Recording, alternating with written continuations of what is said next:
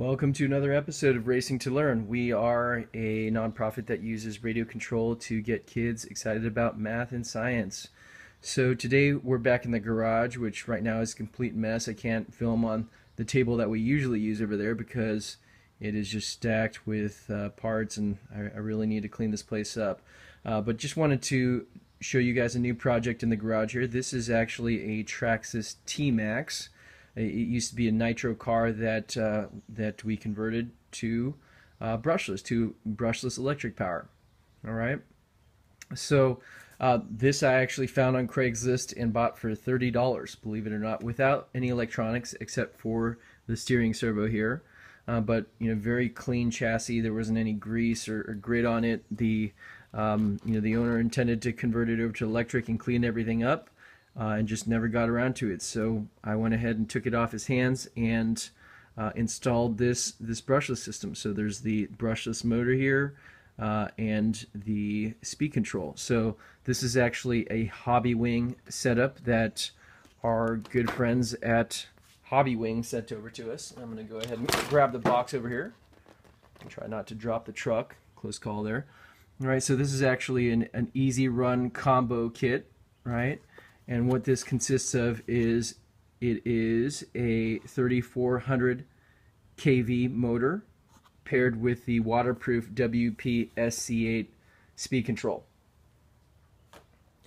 All right, so I, I, probably spent you know just about an hour installing this system, but bolted the the motor up, used the one of the stock um, 17 tooth pinions here.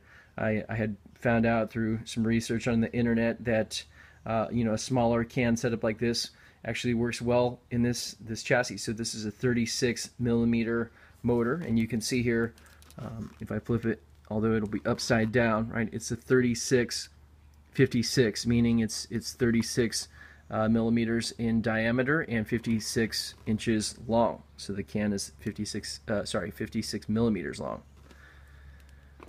All right, so you know, using a larger motor like the Mamba Max uh, or Mamba Monsters or whatnot, or you know, some of those larger 1/8 scale uh, monster truck motors in this chassis will result in a lot of damaged parts. Right, so a lot of people have tried it.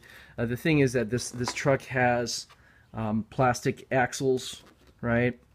So here going to the front differential, and then here going to the rear uh, and then also going out to each of the tires. That's that's all plastic. It's it's a complete plastic drive line. So putting in a higher powered, higher torque motor um, is is going to break stuff. Right? You will need to replace plastic axles. Running off of this motor, it's an absolute hoot, and I haven't had to change out the axles, which is actually fairly expensive. Right? You're looking at probably about fifty six dollar, fifty or sixty dollars.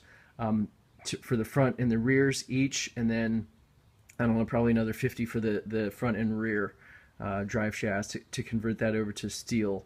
So not cheap. Um, so I, am just going to go ahead and run the smaller motor.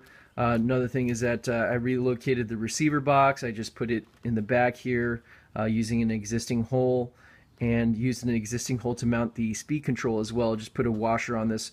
Uh, this this WP SC8 actually drops in where a Traxxas Velineon brushless system would, right? So you can actually bolt it in um, using this little mounting plate that they include uh, into any, basically any uh, Velineon ready or Velineon um, installed system, right? So it's a real nice upgrade there. Uh, I, I actually use the battery mount. Uh, this was off of a, an axial truck. I think it was a Wraith. I got it as part of a just a, a parts.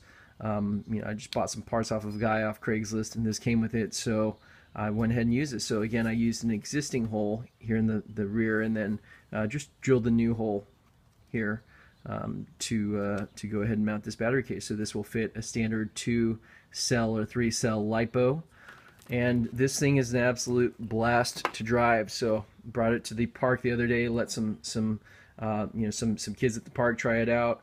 Uh, my son drove it as well. Just absolute blast to drive.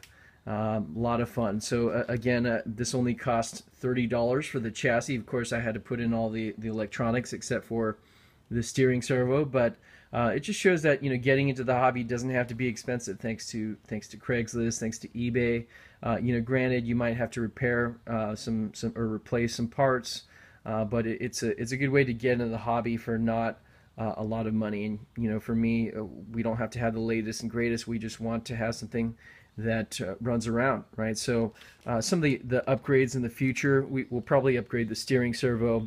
Uh, it is a Hitec middle geared servo, but um, it, it's a little bit weak for this this size of car, right? It, it just doesn't have the torque needed to turn these wheels, except when the, the truck is moving, right? So another thing is that these trucks come with uh, 14 millimeter hexes, right? So an easy upgrade is actually to drop in the the Traxxas or another brand 17 millimeter hub adapters uh, for the Revo or the E-Maxx or T-Maxx. They'll all work, and then just bolting on perhaps some larger tires or uh, you know just using that larger hex so that the uh, the wheels will not strip out as easily, right? So they, they are able to hold more torque. So again, thank you for joining us at Racing to Learn. Please follow us on Facebook uh, like us. Uh, it, it's just facebook.com slash racing to learn. Or you can also uh, subscribe to us on YouTube, Racing to Learn. All right. Thank you very much. We'll see you next time.